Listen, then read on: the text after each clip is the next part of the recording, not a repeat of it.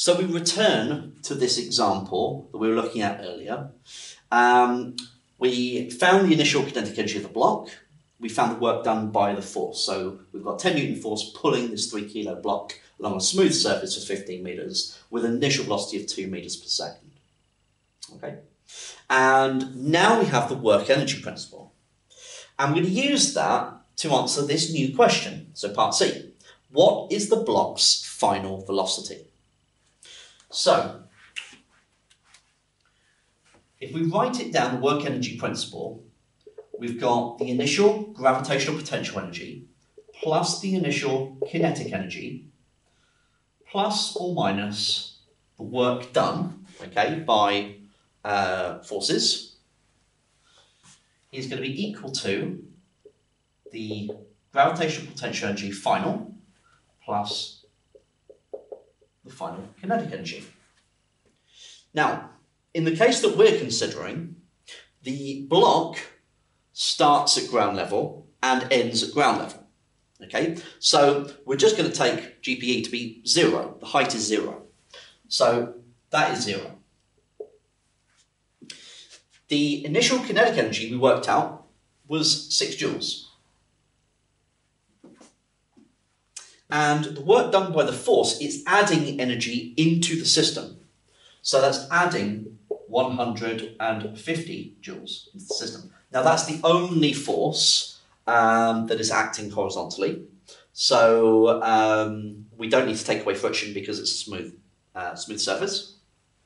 The gravitational potential energy final, well, as I said, it hasn't moved vertically, and so that is zero. And the kinetic energy final is one half times m times v squared.